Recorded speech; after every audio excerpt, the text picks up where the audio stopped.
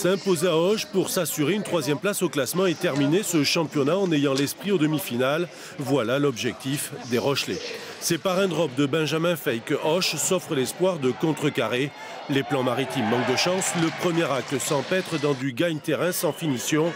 C'est donc une pénalité de Sébastien Boboul qui porte le score à 3-3 et contente les Rochelais à mi-parcours. Si on peut faire plus, on peut, mais là, euh, la preuve en était qu'on a été, euh, sur les regroupements. Je crois qu'on a perdu tout, euh, les trois quarts de nos ballons en touche. donc ça n'a pas, été, pas été facile en conquête. À la reprise, on pense les visiteurs plus motivés ou en tout cas décidés à hausser le ton afin de prouver ce dont ils sont capables. Erreur, rien n'aboutira. Sans faiblir, les Occitans cherchent à perturber les plans rochelais, mais un manque certain de densité les empêche d'arriver en terre promise et en encaissant deux pénalités, ils s'inclinent 9-3.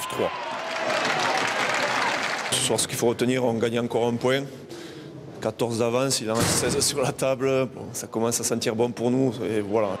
Pour Roche, le maintien est quasiment acquis. Et hier soir, dans le Gers, c'est la seule chose qui comptait. Plus de 140 gagnants.